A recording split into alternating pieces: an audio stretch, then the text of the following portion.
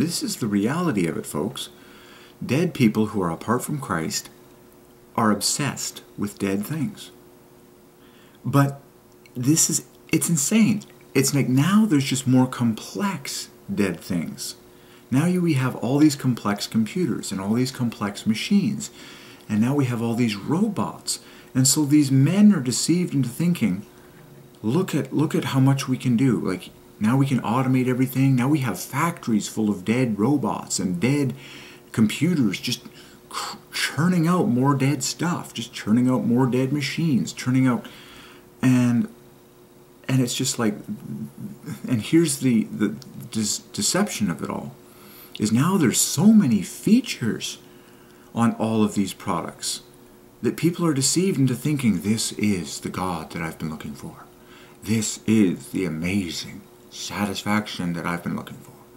Elon Musk's latest electric car with, with thousands of features, and there's software that's connected to the internet, and there's thousands of dead apps, and there's thousands of applications at your fingertips, and look, there's thousands of dead things you can touch, and all these bolts and whistles and all these little robots everywhere all around you.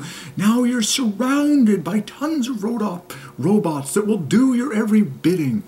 And you're just like, folks, if you're not promoting Jesus Christ, this is where the godless world is so confused. It's like it's happiness and fulfillment is all based on obedience to God and serving the Lord Jesus Christ.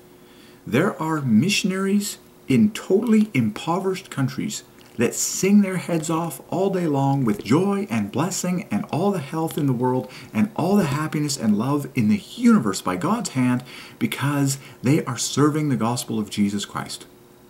Period. North America is completely drunk and lied to by the devil on especially the men of North America, just obsessed with machines, engineering, mechanics, you got to invent something. We got something going here. We got big money. We got big factories. We're efficient. We, are Amazon. We got tons of dead loot. We got vehicles. We got machines. We got cars. We got Mercedes. We got we got fancy dead things. We got huge fancy dead things and lots of them. And now they work for us. They're churning out stuff. The reason you're not happy is because you're not serving Jesus Christ and you're not worshiping Jesus Christ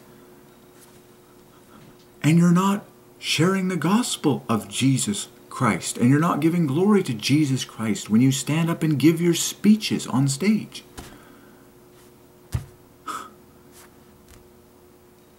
I just, it is so angering what people are turning to. Oh my gosh. Anyways, get a prayer life. Get a prayer life in Jesus' name. And trust me, you won't care one bit about this technology filth.